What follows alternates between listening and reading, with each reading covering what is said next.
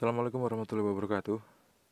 Selamat berjumpa lagi bareng saya Andi Sulowibo di channel kita yang tercinta ini pemirsa.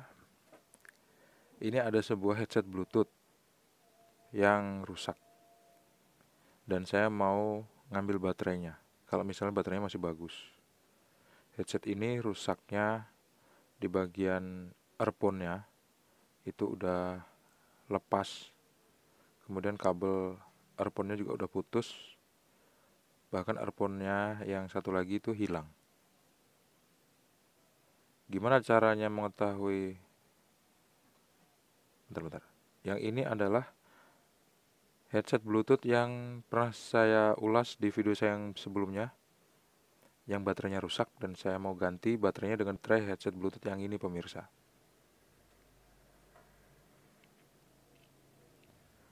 Supaya tahu headset Bluetooth ini masih bagus apa enggak baterainya? Coba saya cas dulu. Nyala ya. Lampu indikatornya warna warna merah. Terus coba saya hidupkan. Tuh klip-klip. Tandanya dia lagi searching. Searching perangkat. Dia kalau nemuin perangkat bluetooth yang hidup dia otomatis langsung nyambung pemirsa. Tapi karena nggak ada perangkat bluetooth yang hidup akhirnya dia cuman kelap-kelip aja terus. Kalau gitu berarti baterainya masih bagus nih. Saya matikan aja. Saya coba mau bongkar dan lihat baterainya. Cara membongkarnya seperti ini. Kita buka aja pelan-pelan pakai kuku. Nah gini aja gini ya. Ini nggak bisa dijelasin pakai kata-kata nih. Tuh begitu udah kebuka kita bisa lihat di sini ada tiga tombol terus ada mic kondensor ada IC ada colokan char colokan charger ada juga baterai 500 mAh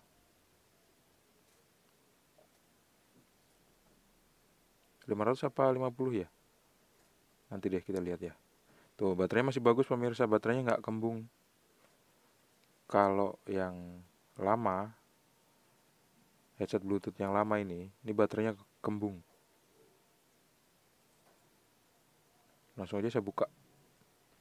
Saya mau lihat baterainya. Mungkin pemirsa yang pernah nonton video saya yang sebelumnya tahu kalau misalnya headset ini memang rusak baterainya dan udah saya tunjukin di video saya yang sebelumnya itu baterainya itu memang gelembung dia. Jadi harus diganti baterai yang baru kalau misalnya headset bluetooth ini masih mau digunakan buka pelan-pelan begitu udah kebuka seperti ini. Coba kita lihat. Ternyata papan PCB nya beda. Rangkaiannya tuh beda. Karena beda merek juga kayaknya. Kita lepas saja dulu PCB nya ini dari casingnya ya pemirsa.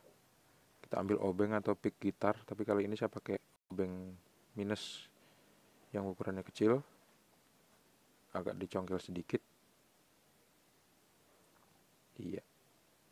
Nah, ini dia baterainya. Baterai yang lama itu. Bukan baterai headset yang ini maksudnya. Tuh, gelembung dia. Ini kalau dipencet-pencet tuh ada anginnya tuh kan beda jauh kan. Yang sebelah kiri udah dua kali lipat. Oh 50 mAh bukan 500 mAh. Udah kayak power bank aja 500 mAh ya pemirsa. Fix deh kayaknya saya mau lepasin baterai yang lama ini. Saya panasin solder dulu. Habis itu tinggal saya lepas aja.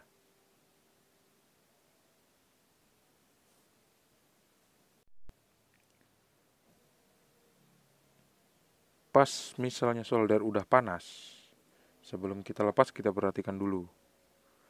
Nah, kalau misalnya udah kita perhatikan baru kita lepas. Apa yang kita perhatikan kutub positif dan negatifnya pemirsa. Enaknya, kutub positif dan negatif ini udah ditandain di PCB, jadi ada tulisannya positif, ada tulisannya negatif. Jadi kita nggak bakal salah pasang. Begitu juga untuk mesin yang satu lagi. Positif dan negatifnya itu udah ditulis di PCB. Jadi kalau misalnya kita lepas, kita nggak bakal salah pasang. Yang positif warna merah, yang negatif warna hitam.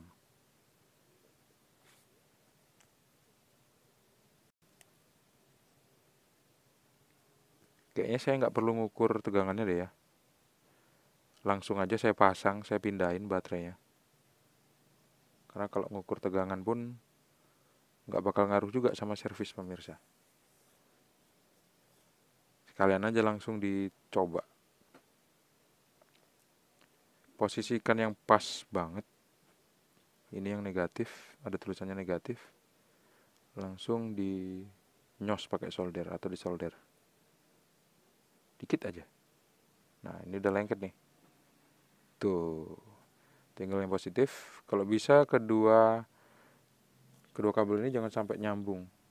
Nanti dia korslet. Kalau korslet nanti dia rusak. Sepele sih cuman kan ini tegangan ya isinya nggak boleh kita korslet korsletin. Nanti rusak baterainya. Nah kalau udah nyambung seperti ini langsung aja kita tes kita pencet hidup nggak? Kalau sebelumnya kan headset bluetooth yang tanpa kabel ini kan nggak hidup. Gimana setelah diganti baterai? Dan ternyata bener dugaan saya. Hidup pemirsa tuh kelihatan gelap klip merah merah biru merah biru kan tuh kan tuh merah biru merah biru ini headsetnya udah bisa kita gunakan Dia lagi mencari perangkat, tandanya merah biru merah biru, lampunya hidup, bergantian, flip flop gitu. Saya matikan dulu, terus coba saya rakit. Kira-kira baterai yang digunakan untuk mengganti baterai yang rusak itu pas nggak di posisinya. Kalau pas, nggak jadi soal. Berarti kita nggak pakai modifikasi casing. Ternyata pas. Kalau memang udah pas, berarti langsung aja dipasang. PCB-nya langsung kita pasang di sini. Kita tekan sedikit sampai masuk ke dalam klipnya.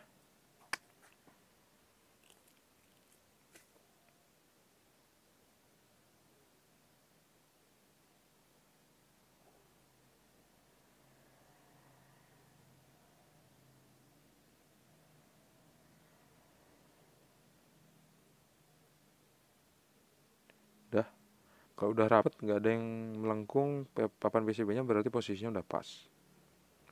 Langsung aja sekalian. Supaya tombolnya nggak rusak ditekan tanpa tombol asli dari pabrik mending tombolnya dipasang.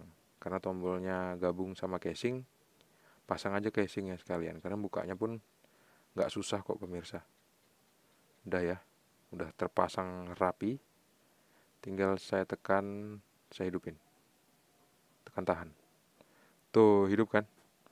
Merah biru, merah biru. Artinya dia lagi mencari perangkat.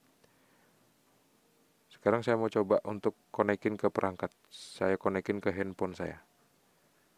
Gimana kira-kira hasilnya?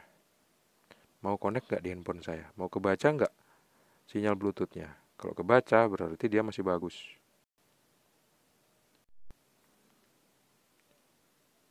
Tapi sebelum saya konekin ke perangkat saya mau cas dulu sampai penuh.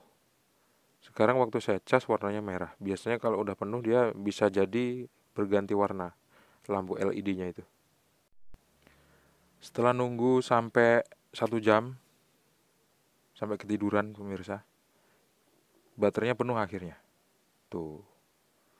Baterainya penuh berubah warna lampu LED-nya dari merah menjadi biru Tiba waktunya untuk nyalain handphone, nyalain Bluetooth, nyalakan opsi dapat ditemukan, kemudian kita tunggu. Apa nama perangkat dari Bluetooth itu? Perangkat yang tersedia, lagi dicari. Biasanya nggak makan lama kok pemirsa, bentar aja. Kalau misalnya nggak ketemu, coba kita refresh lagi. Oh, ketemu. Namanya A7 pemirsa. Coba langsung kita klik konekin. Mau nyambung nggak kira-kira? Ternyata bener dia mau nyambung dan dan udah terhubung sekarang. Waktunya saya tes pakai musik. Begitu udah connect, saya tes pakai musik, ternyata suaranya masih agak ada suara kemeresek pemirsa. Bisa sembuh, bisa dipakai headsetnya, cuman kurangnya itu tadi, ada suara kemeresek, mungkin speakernya ini udah rusak. Gitu aja ya cara memperbaikinya. Semoga bermanfaat. Sampai jumpa di video selanjutnya. Jangan lupa untuk klik like, subscribe, dan membagikan video ini ke teman-teman pemirsa. Sampai jumpa di video selanjutnya. Assalamualaikum warahmatullahi wabarakatuh. See you and bye-bye.